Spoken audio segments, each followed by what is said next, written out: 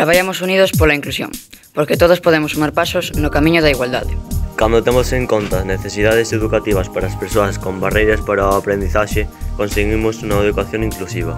A educación é a ferramenta máis poderosa para conseguir unha sociedade máis xusta e mellor. Cando unha persoa con discapacidade ve limitado o seu lecer, está a ser privada dun dereito fundamental.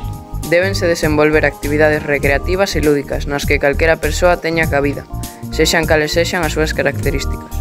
Cando unha persoa ten algún tipo de discapacidade, o acceso a un emprego é máis difícil. O emprego inclusivo é un reto que debemos alcanzar como sociedade. E Unión é un exemplo a seguir.